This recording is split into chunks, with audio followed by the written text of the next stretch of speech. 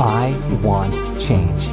I want to be true to myself and live the life that I want. I want to follow my heart. I want to do something different and discover who I really am inside. I want to change myself into someone I've always dreamed of. Someone who shines. Someone who is committed to making a difference in the world.